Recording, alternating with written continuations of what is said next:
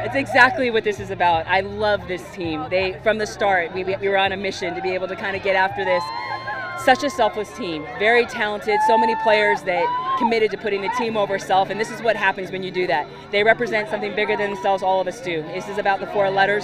It's bringing it back to Westwood, bringing it back to the Pac where it should be, the winningest conference in the history of this sport. So we represent all of them. We're so proud, we're so excited, and today is a great day to be a Bruin.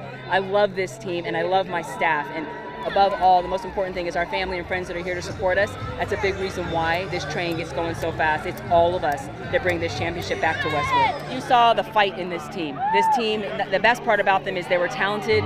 They, you know, people could throw punches and they punched back, but they also did it with a smile. If you ever watched this team, they played their best when they were having fun. And that's not easy to do on this big stage with a small section of UCLA and the entire crowd, all Oklahoma. This team stuck together, they threw punches, they had fun with it, and they got the result at the end. Um, I'm so proud of them because they were a resilient team against all odds, saying no experience. We got it done on the big stage, and I'm so proud of them.